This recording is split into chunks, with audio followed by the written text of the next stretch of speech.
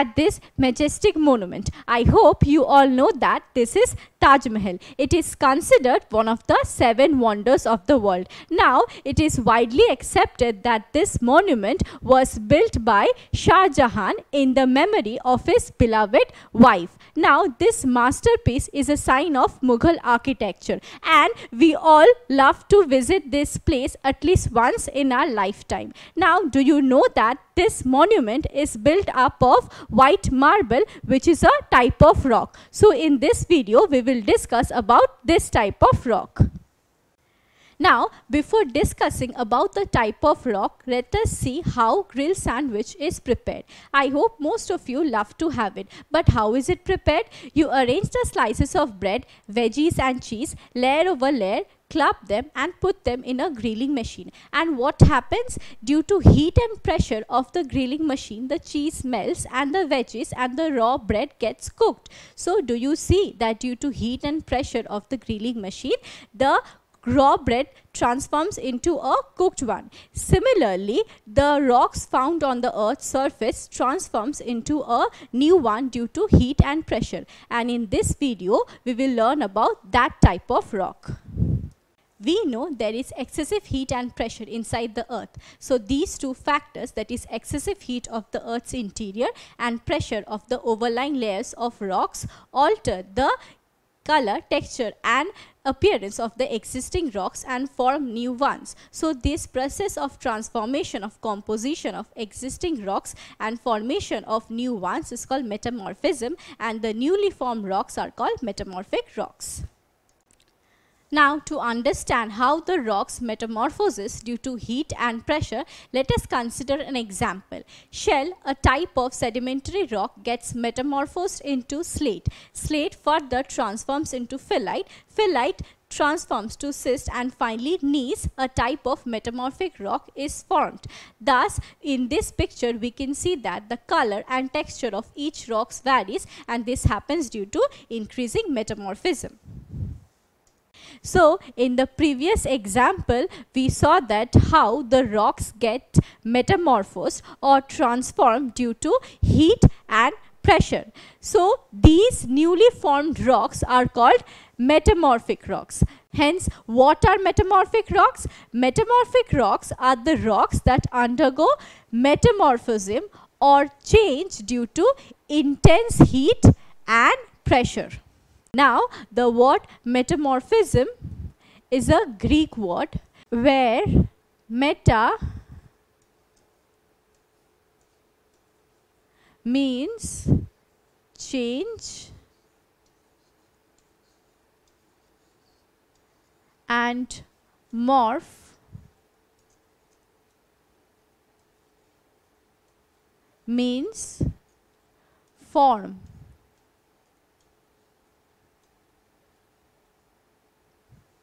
Thus, the word metamorphism means change in form. Therefore, the rocks that change their form due to intense heat and pressure are called metamorphic rocks. So, there are two factors that cause these rocks to change that is heat present in the earth's interior and pressure of the overlying rocks. So now let's learn about few examples of metamorphic rocks. Do you remember I discussed about Taj Mahal in the beginning of the video? I mentioned that Taj Mahal is composed of white marble. So marble is an example of metamorphic rock.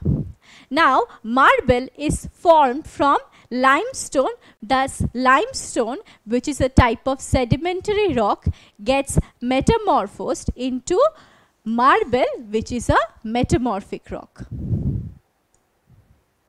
Another example of metamorphic rock is quartzite.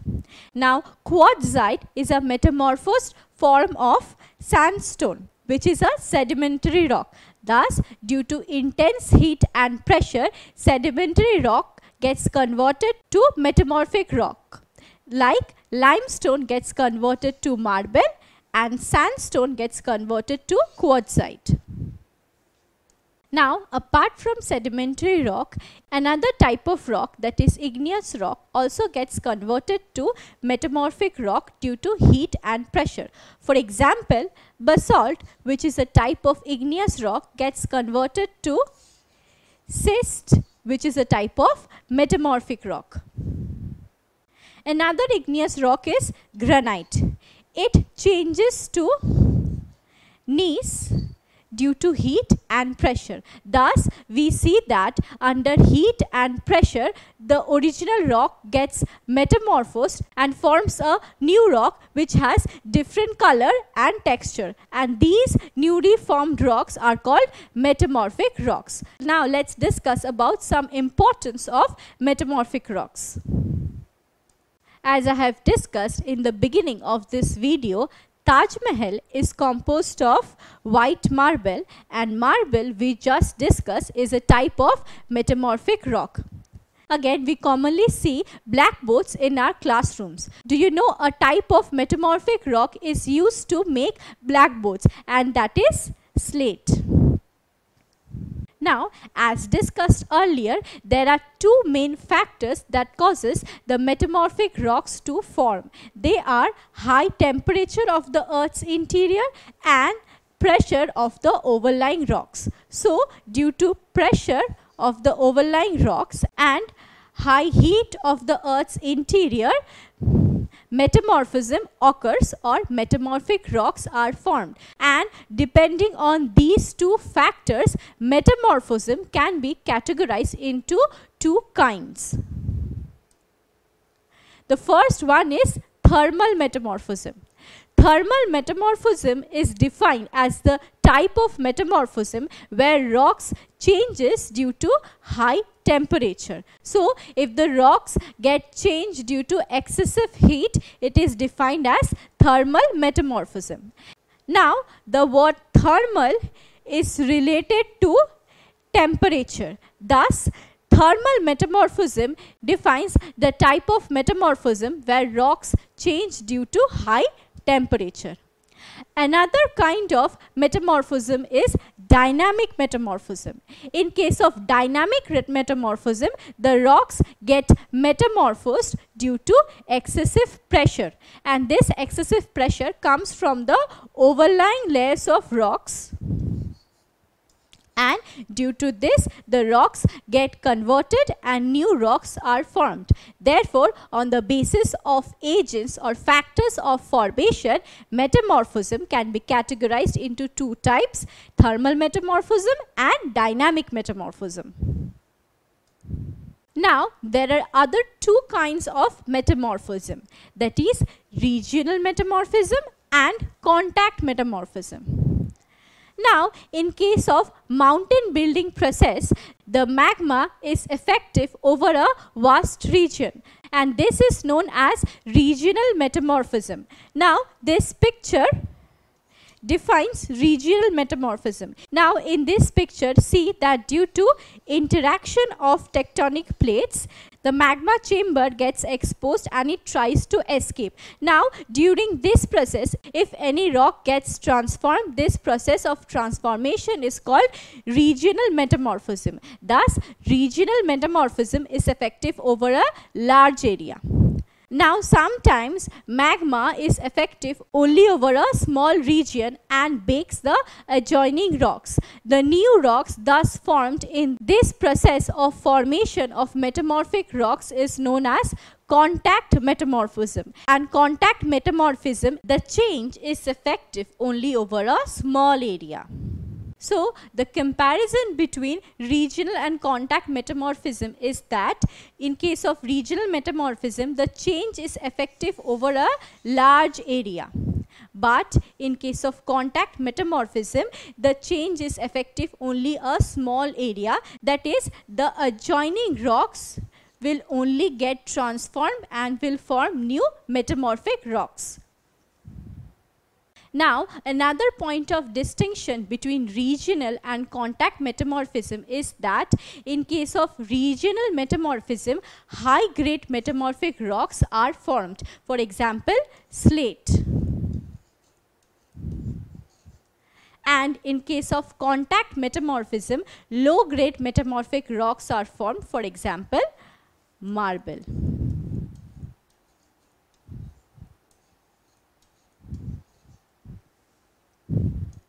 Now before we proceed with our lesson, let us answer this question. Which type of metamorphism is effective over a small region? Is it regional metamorphism, contact metamorphism, dynamic metamorphism or thermal metamorphism? The correct answer is contact metamorphism. In case of contact metamorphism, the metamorphism is effective only over a small region. Sometimes due to excessive pressure, the minerals get squeezed and the rocks thus formed have a platy or sheet-like structure. These rocks are called foliated metamorphic rocks. Now here we have the pictures of two foliated metamorphic rocks. They are shale and slate. From these pictures, we can see that shale, which is a type of foliated metamorphic rock, has plate-like structure. Again, shell, which is another type of foliated metamorphic rock, has plate-like structures. However, non-foliated metamorphic rocks have no platy or sheet-like structures. For example, quartzite and marble. See, from this picture, we can find that neither quartzite nor marble have platy or sheet-like structure. Now, let us discuss another point of difference between foliated and non-foliated metamorphic rocks.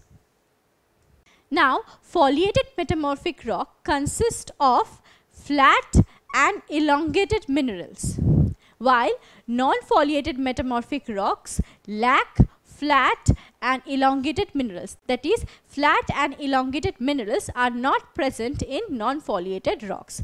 And the example of foliated metamorphic rocks are shale and slate. An example of non-foliated metamorphic rocks are quartzite and marble. Now, here we have a summary chart on types of metamorphic rocks. Metamorphic rocks can be classified into various types depending on these factors. The first factor is agent.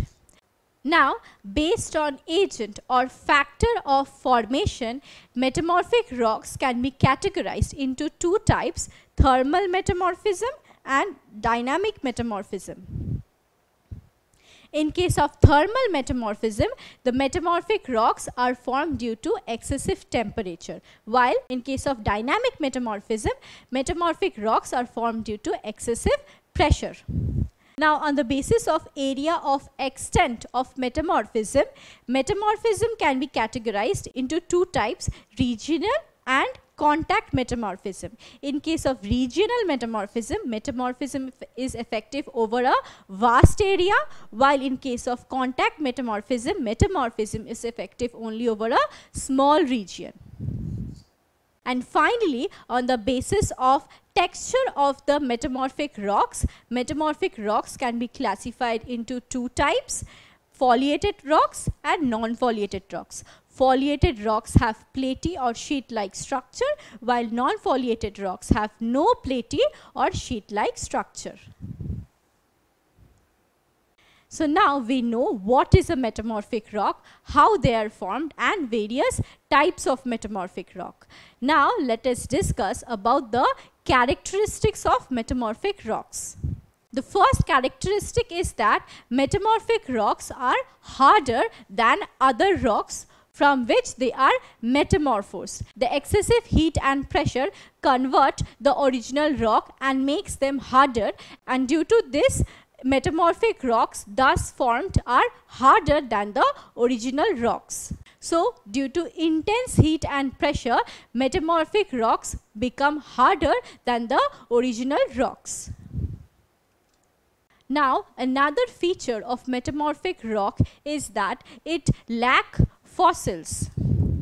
The excessive heat and pressure that form the metamorphic rock destroys any organic matter present in the rock and therefore metamorphic rocks do not contain any fossils.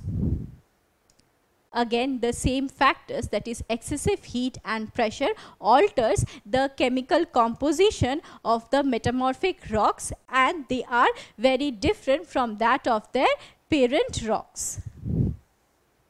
Now, you must be wondering where metamorphic rocks are found.